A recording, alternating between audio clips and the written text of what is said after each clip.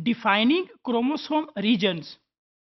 If we take the example of a typical chromosome, a typical chromosome consists of centromere that is present in the middle, centromere and it consists of two arms.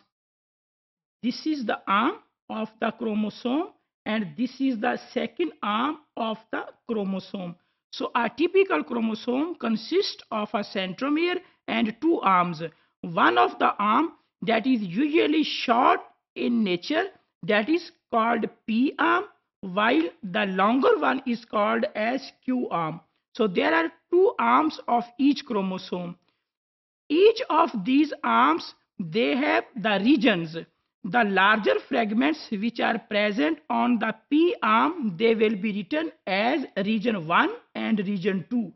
We can say that this region can be written as 1 and this region of the chromosome can be written as 2, region 1 and region 2. Same is on the lower side.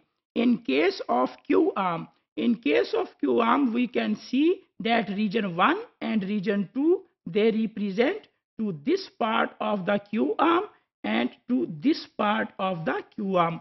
So on P arm, there are two regions, 1 and 2. Same is on the Q arm, region 1 and region 2.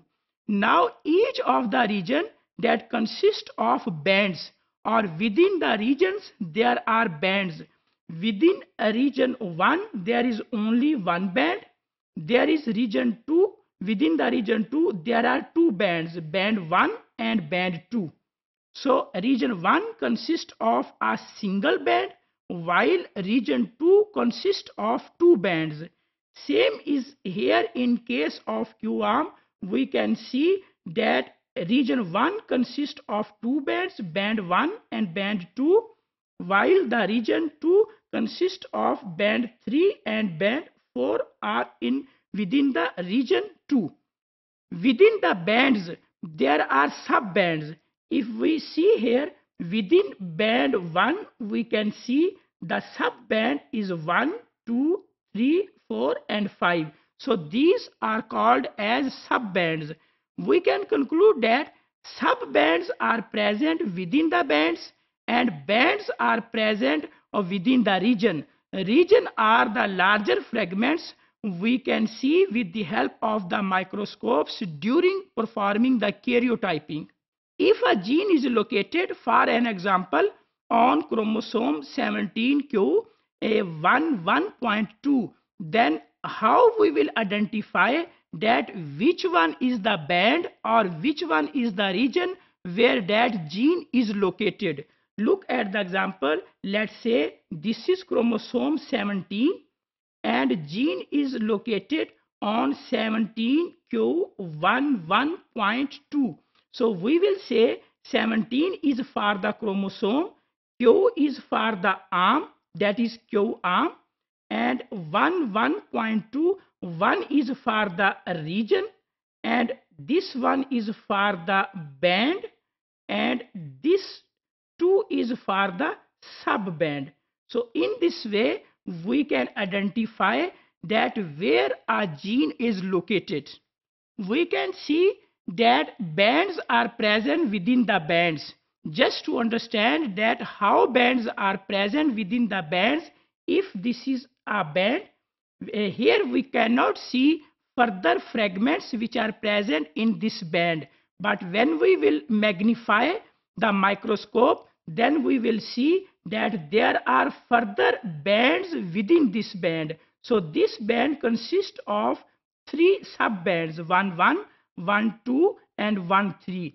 But again when we will magnify this band we will come to know that again there are two sub bands 1 1.1 and 1 1.2. This band is 1 1.2 and this band is for 1 1.1. Chromosome identification can be done based on three different things. Chromosomes can be identified based on their size. Chromosomes can be identified based on the position of the centromeres and chromosomes can be identified based on the banding pattern which is present on the chromosomes.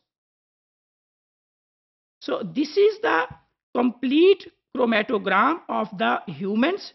In case of this chromatogram, we can see that how banding patterns are represented while describing the human chromosomes.